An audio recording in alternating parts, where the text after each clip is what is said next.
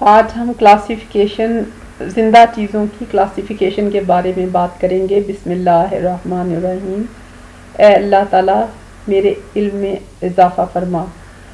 हम इस दुआ के साथ अपने सबक का आगाज़ करते हैं। तो प्यारे बच्चों, आप जानते हैं कि वो कौन सी किताब है जिसमें कोई शक की बात नहीं है?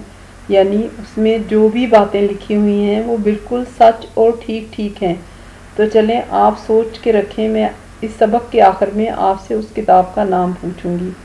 तो क्या आप जानते हैं कि टेक्सोनोमी या सख्त बंदी किसे कहते हैं?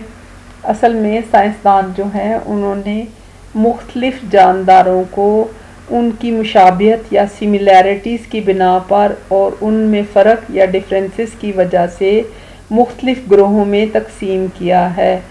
इसको क्लासिफिकेशन ऑफ़ लिविंग थिंग्स कहते हैं। क्या आप जानते हैं कि जो हुलिया या सेल जो होता है, वो तमाम जानदारों की बुनियादी इकाई है। इसी वजह से कुछ जानवरों को यूनिसेलुलर या यक खुलवी कहते हैं। यूनिसेलुलर का मतलब होता है एक खुलिया ऐसा जानदार जो सिर्फ़ एक खुलिए पर मुश्तमिल होता है। कुछ एमीबा जो हैं, वो एक खुलिए पर मुश्तमिल होते हैं। और मल्टी सेलुलर वो जानदार जो एक से ज़्यादा खुलिए रखते हैं। साइंसदानों ने तमाम जानदारों को पाँच बड़े ग्रोहों में तकसीम किया है, जिनको किंगडम कहते हैं। सबसे पहला ग्रोह है मुनीरा। मुनीरा ग्रोह में बैक्टीरिया आते हैं, जिनको जरासीम कहते हैं। ये जरासीम हर जगह पाए जाते हैं। ये यक खुलवी होते हैं। और ये जानवरों और पौधों में बीमारियों का बाइस बनते हैं। इसके अलावा इसमें जो है वो फिरोज़ी काई भी आती है, जिसको ब्लू ग्रीन एलजी कहते हैं। ये यक खुलवी भी होते हैं मल्टी सेलुलर भी होते हैं। ये तालाब, झील और समुंदर में पाए जाते हैं। इनमें क्लोरोफिल पाया जाता है और ये ज़ियाई तालीफ या फोटोसिंथेसिस के ज़रिए अपनी खुराक खुद बनाते हैं। इनकी मिसाल में जो है क्लेमाइडोमोनस है वाल्वोक्स है, और ये काई की मिसालें हैं, और एक और इसका मेंबर है जिसको स्पायरो गायरा कहते हैं।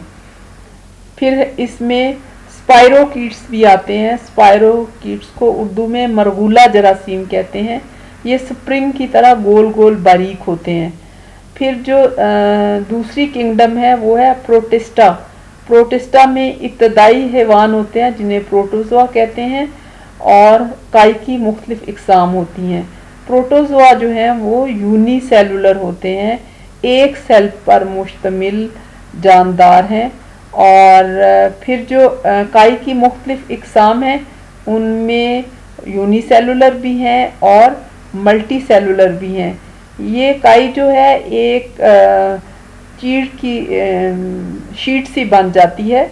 और फिर तीसरा जो किंगडम है, वो फंगाई या फंजाई का है। इसमें जो है, वो क्लोरोफिल नहीं होता, ये धागा नुमा भी होते हैं ये। और इस वजह से क्लोरोफिल होने, ना होने की वजह से ये ज़्याई तालीफ नहीं करते और अपनी खुराक खुद नहीं बना सकते। ये इर्द गिर्द की चीज़ों से अपनी खुराक जज़ब करते हैं।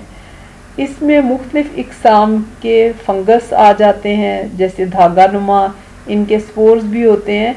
और फिर आम तौर पे हम घर में अगर डबल रोटी बाहर रख दें तो उस पर जो फूंदी होती है वो भी फंगस की एक किस्म है।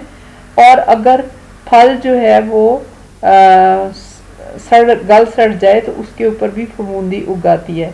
इसके अलावा मशरूम छतरी की तरह की ये होती हैं, आमतौर पे गंदगी के ढेर पे उगती हैं, इनको मशरूम कहते हैं। और ये पत्तों की बीमारियों की फूंदी होती है, जिसको माइल्ड्यूस कहते हैं। फिर इसमें यीस्ट भी आते हैं, जिन, जिनसे खमीर उठाया जाता है। ये खुर्दबीन से नज़र आते हैं। और फिर ये पौधों को एक फंगस लगता है, जिसको स्मट कहते हैं। ये जो भुट्टा है, उसके ऊपर स्मट लगा हुआ है। फिर जो है प्लांटी किंगडम है। इसमें जो है क्लोरोफिल होता है, पौधे ज़्यादा तालीफ से खुराक खुद बनाते हैं और ये मल्टी सेलुलर होते हैं। फिर इनमें मॉस है जो काई जैसा पौधा है, ये बिल्कुल नीचे फैल जाता है। फिर इसमें फर्न आते हैं। फर्न जो होते हैं, उनके फूल भी नहीं होते और ये बड़े पत्तों पे मुश्तमिल होते हैं। फिर इसमें वुडी प्लांट्स आते हैं, लकड़ी वाले पौधे आते हैं, जिनके बड़े तने होते हैं। फिर इसमें नॉन वुडी प्लांट्स आते हैं, जिनके लकड़ी के बगैर तने वाले पौधे होते हैं। फिर इसमें बगैर फूलों वाले पौधे आते हैं, जिनको नॉन फ्लावरिंग प्लांट्स कहते हैं। और फिर इसमें फूलदार पौधे भी होते हैं, जिनको फ्लावरिंग प्लांट्स कहते हैं। और फिर जो है आखिरी पांचवी किंगडम है किंगडम एनिमेलिया या हैवानात हैवानात जो हैं, वो मल्टी सेलुलर जानदार हैं, ये अपनी खुराक खुद नहीं बनाते। ये खुराक के लिए पौधे या छोटे जानवर खाते हैं। इनमें अस्फंज आ जाते हैं। स्पंज जो हैं, उनमें छोटे छोटे पोर्स होते हैं। फिर इसमें वर्म्स या गोल कीड़े आ जाते हैं।